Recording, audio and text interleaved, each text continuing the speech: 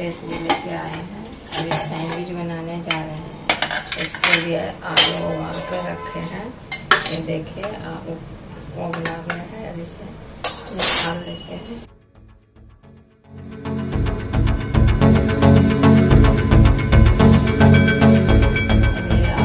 छिलका हैं।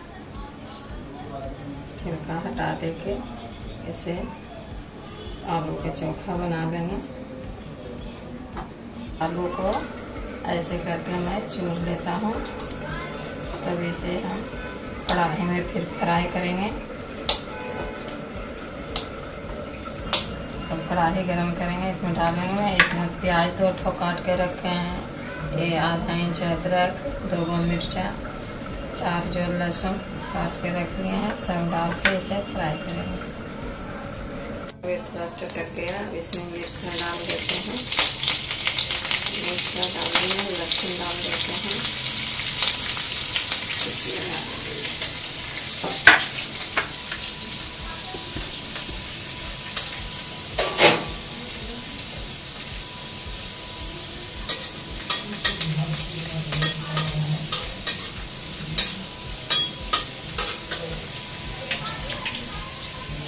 अब इसमें प्याज डाल देते हैं। प्याज लाल होने तक भूजेंगे ये अदरक है, थोड़ा सा छोटा छोटा काट के ले लिए हैं तो डाल के दो मिनट भूजेंगे थोड़ा हल्का लाल होगा तो इसमें सूखा डालेंगे आलू को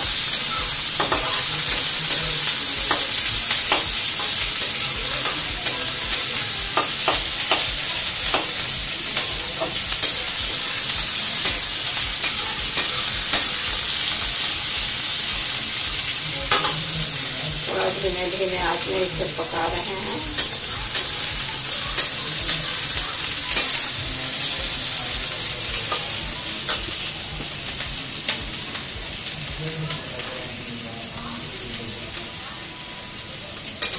नमक डाल देते हैं।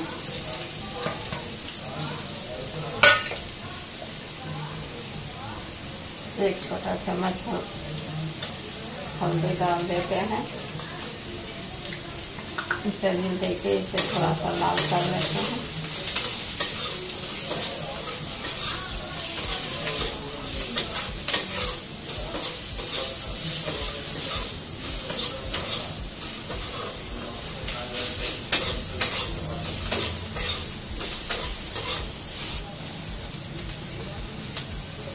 देखिए प्याज थोड़ा कलर ठीक हो गया है, अब डाल लेते हैं, ज़्यादा लाल करके नहीं देते हैं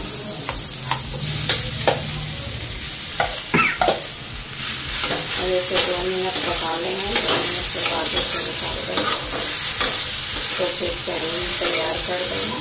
सैंडविच के लिए हम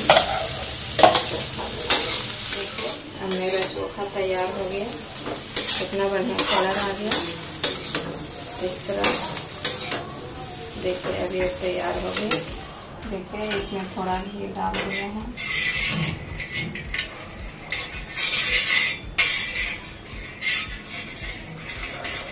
इस तरह थोड़ा फैला लेते हैं।